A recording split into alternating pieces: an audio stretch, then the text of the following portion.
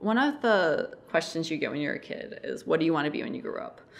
And I never really had a strong answer to that when I was a kid, but I always was curious and I was always open to new opportunities and recognizing you don't have to wait around for something to happen. You can just take the initiative and do it yourself.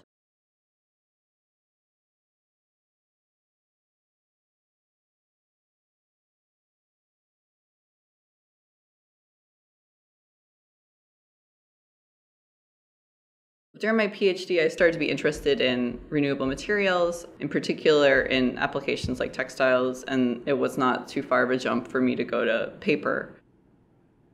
It's been known for a long time that silver ions will be antimicrobial.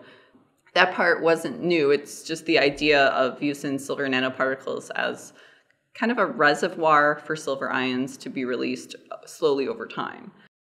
Some of the challenges of transitioning from being a research scientist to being an entrepreneur and a business owner is learning all these new things all the time. I still had to figure out how to go from making a few of these uh, every so often to making thousands of papers. And it's not a new technology, but adding silver nanoparticles literally on the paper machine was something that we've been able to achieve as a company.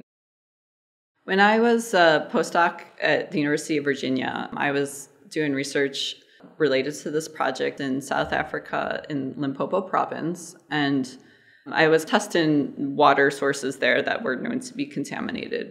And the results were that it killed the majority of the bacteria in those samples. We were just like, okay, this actually could be something real, not just a lab curiosity.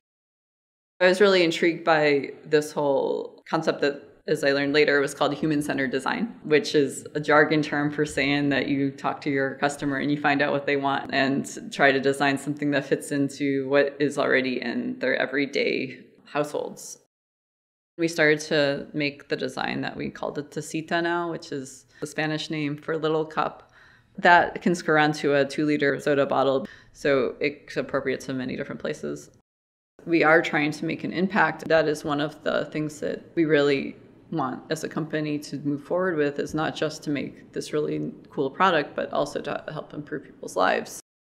The common trait amongst all of us is that we really are doing something that we feel motivated about.